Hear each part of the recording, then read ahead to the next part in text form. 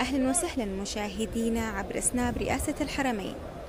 ها نحن اليوم نلتقي بكم بتوجيه كريم من معالي الرئيس العام حفظه الله ومتابعة مستمرة من مستشار ومساعد الرئيس العام للشؤون التطويرية النسائية بالمسجد الحرام الدكتور العنود بنت خالد العبود في تغطية نوعية غير مسبوقة لوكالة الرئيس العام للشؤون الإعلامية والعلاقات والمعارض النسائية ممثلة بالإدارة العامة للعلاقات العامة النسائية ومن ميناء جدة الإسلامي حيث يتم استقبال وفود حجاج بيت الله الحرام الواصلين للأراضي المقدسة لتأدية فريضة الحج لهذا العام 1444 هجريا.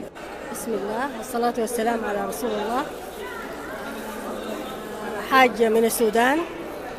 والحمد لله يعني ربنا سهل لنا ونحمد الله ونشكره على النعمة اللي أدانا دي. إننا في الظروف الصعبة دي نحن نقدر نجي ونحج بيت الله.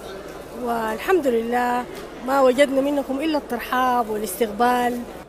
من فضل الله سبحانه وتعالى ومنه علينا نيل شرف خدمة ضيوف الرحمن الكرام في أطهر البقاع حيث يتم في هذه الأيام المباركة استقبال وفود حجاج بيت الله الحرام في ميناء جدة الإسلامي.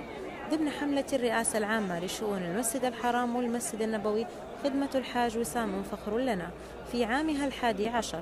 والمشاركة في تقديم مبادرة حفاوة التي تعنى بالترحيب بضيوف الرحمن لتقديم الضيافة والهدايا لهم.